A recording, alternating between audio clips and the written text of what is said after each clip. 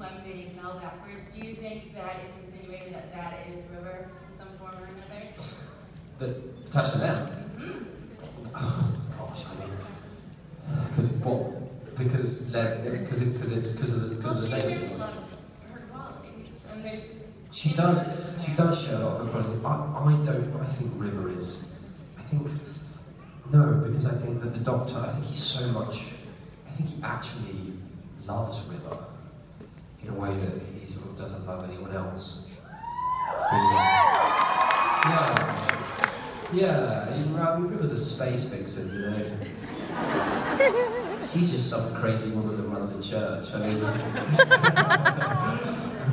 no. Um, no, I don't think they're connected.